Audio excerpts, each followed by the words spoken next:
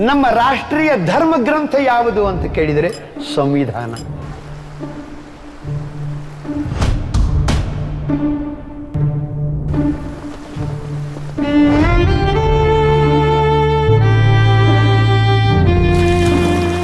ಹಿಂದೂ ಅನ್ನೋದಾಗಲಿ, ಮುಸಲ್ಮಾನ್ ಅನ್ನೋದಾಗಲಿ, ಬೌದ್ಧ ಅನ್ನೋದಾಗಲಿ, ಇವು ಯಾವುವು?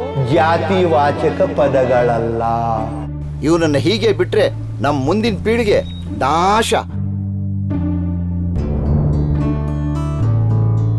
ಒಬ್ಬ ಮುಸಲ್ಮಾನನ ಬಾಯಿನಲ್ಲಿ ನಮ್ಮ ಭಗವದ್ಗೀತೆ ಬರೋದು ಅಂದ್ರೆ ಅದು ಅಪಚಾರ ಆದಂಗಾಗಲ್ವಾ ನಾನು ಹೇಳಿದ್ದು ಪಾಪ ಆ ಹುಡುಗನ ಮೇಲೆ ಅಪವಾದ ಬರೋ ಹಾಗಾಯ್ತು.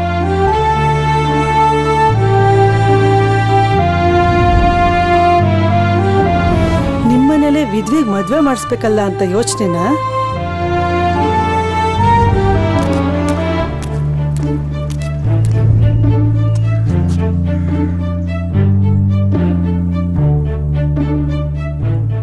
ಮೈಲ್ಗೆ ಆಗಿದ್ಯೋ ಗೋಮೂತ್ರ ಕುಡಿಬೇಕೋ?